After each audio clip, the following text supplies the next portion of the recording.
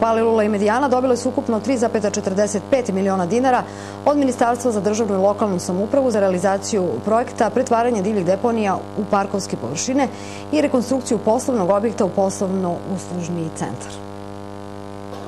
Ovo je samo deo novca koji se sliva u republički budžet od igara na sreću i koji je namenjen kao pomoć lokalnim samoupravama – rekao je državni sekretar Ministarstva za ljudska i manjinska prava, državnu upravu i lokalnu samoupravu Aleksandar Radosavljević prilikom potpisivanja ugovora o dodeli sredstava.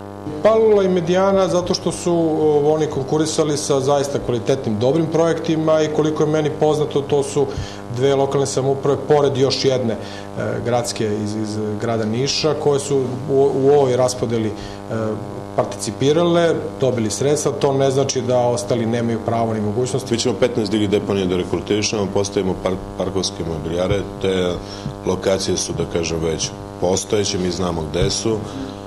Nažalost, mi imamo negde oko 30 i nešto divljih deponija, ovo je ovo je, da kažem, trenutak za samo 15 divljih deponija. Radi se, naime, o bivšoj mesnoj kancelariji Braća Tasković.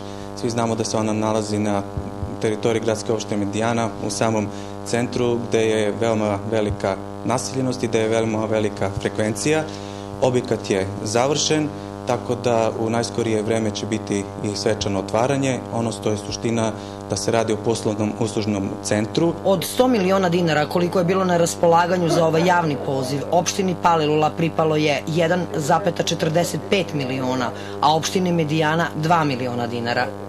Naredni konkurs biće u martu, a omogućeno je opštinama da prijave više projekata i dobiju novac za njihovu realizaciju.